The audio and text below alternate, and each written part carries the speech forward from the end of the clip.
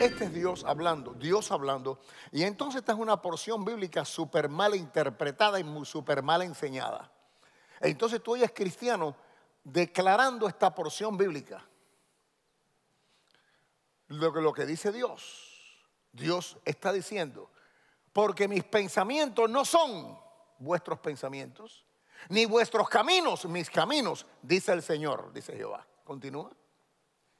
Como son más altos los cielos que la tierra, así son mis caminos, más altos que vuestros caminos, y mis pensamientos más que vuestros pensamientos. Figúrate, ahora nosotros como cristianos leemos esa porción y nos enseña lo que esta porción dice y nos limitamos porque ya Dios me está diciendo que ya Dios me está diciendo que mis pensamientos son diferentes a los de él.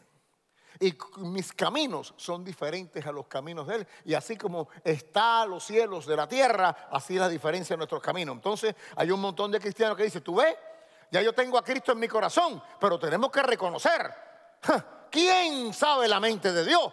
¿Quién puede pensar como Dios? Mira lo que aquí dice. Pero se le olvidaron leer el versículo 7. Dale para atrás. Deje el impío su camino. Está hablándole a los pecadores, no a ti. Deje el impío su camino y el hombre inicuo sus pensamientos. Está hablando de camino y pensamiento.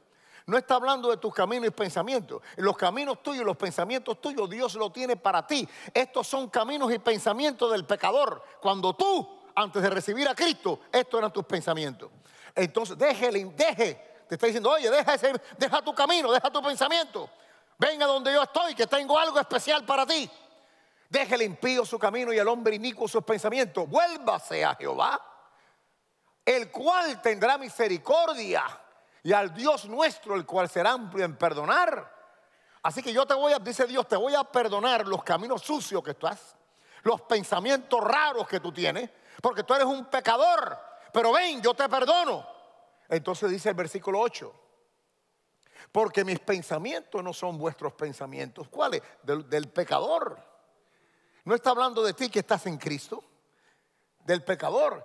Porque mis pensamientos no son vuestros pensamientos ni vuestros caminos mis caminos, dice Jehová. Nueve. Como son más altos los cielos que la tierra, así son mis caminos más altos que vuestros caminos y mis pensamientos, vuestros pensamientos. Entonces, yo quiero que tú comprendas, cristiano, que estos son los caminos del Señor y estos son los pensamientos del Señor. ¿Y aquí para qué están? Para que tú lo creas y tú lo adaptes a tu vida. Ya los pensamientos tuyos y los caminos sucios tuyos, se supone que poco a claro, al venir a Cristo ha habido una transferencia de un reino a otro reino. Todavía tú tienes tu mente sucia en algunos puntos. Pero la palabra de Dios es el agua que te enjuaga y te limpia la cabeza. ¿Me estás oyendo lo que te quiero decir? Dios quiere que tú pienses como Él piensa. ¿Cómo piensa Dios? ¿Cuántos pasaron el segundo grado? Levanten la mano. ¿Saben leer? Estos son los pensamientos de Dios. La palabra de Dios son sus pensamientos. ¿O tú crees que Dios escribió aquí algo que no fuera pensado por Él? Tenemos que empezar a comprender, para empezar, que los pensamientos de Dios se supone que sean mis pensamientos y lo estamos aprendiendo, recibiendo la revelación y aceptándolo. Ay, pero ¿cómo yo voy a pensar igual que él? Eso es imposible. Para ti es imposible aunque vas al cielo. Pero al tú decir que es imposible para ti, es imposible para ti. Porque te vas a amarrar a tu debilidad y a tu poca tu poco nivel de victoria en tu vida. La victoria en tu vida es siempre tú decir, Dios lo dice, no sé cómo, pero yo lo creo.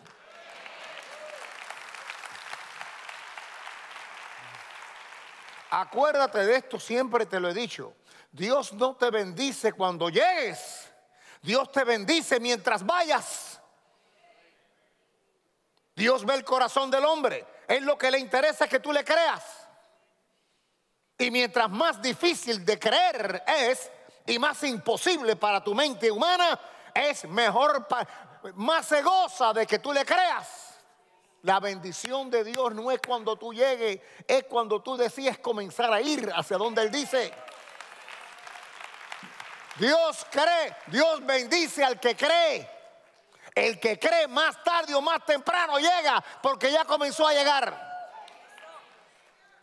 ¿Me entiende lo que quiero decir? La gente dice, no, yo tengo que, hay gente que dice, no, yo tengo que limpiarme. La gente que no va ni a la iglesia, no.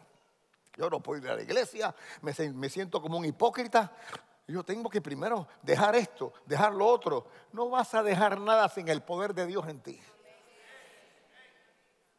El diablo tiene a la gente amarrada de no ir a Dios hasta que se limpie. El que limpia la sangre de Cristo, familia.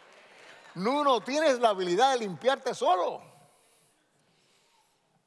No tienes eh, tú eres un baby. Cuando tú eras baby, tu mamá te quitaba los pañales y te limpiaba y te echaba talquito. ¿Te acuerdas? Bueno, esto todavía pasa. Tú no tienes la habilidad de limpiarte. Es Dios quien te limpia, tu Padre celestial, gloria a Dios. Y te echa talco después, gloria a Dios. Tremendo. Son, algunos de ustedes están entalcados. Aleluya. Así que la palabra de Dios contiene los pensamientos de Dios. Dios quiere que cambiemos nuestra manera de pensar.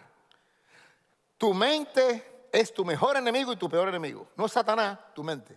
Es tu mente la que va a decidir que tú creas o que no creas. Es tu mente, si crees, es tu mente que te va a decir, puedes creer, pero hasta aquí. Todo está basado en nosotros y la educación que hemos tenido y la, claramente el sistema en el que vivimos. El sistema en que vivimos en el mundo que nos ha establecido el cómo creer, el cómo pensar, el cómo deducir, la lógica nuestra es diferente a la lógica de Dios. Entonces tenemos una situación. Tenemos una situación que estamos amarrados a ciertos pensamientos intelectuales, los cuales ahora Dios tiene un intelecto superior y no lo puedo comprender, porque no lo puedo computar. No lo puedo computar.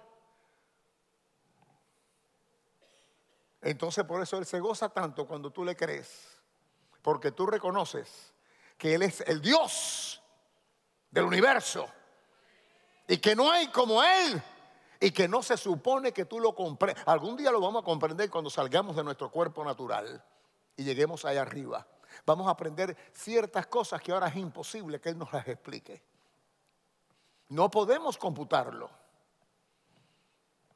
Dios vive en la eternidad y desde ahí opera y funciona. Levanta las manos en alto, dale gracias a Dios. Déjame decirte una cosa, tu futuro no está en el futuro. Bueno, su futuro sí está en el futuro, pero no está en el futuro. Estoy hablando así hoy, no sé por qué. Mi futuro está en el futuro y no está en el futuro. Mi futuro no está mirando hacia adelante. Mi futuro está mirando hacia arriba porque mi futuro ya está plasmado en la eternidad.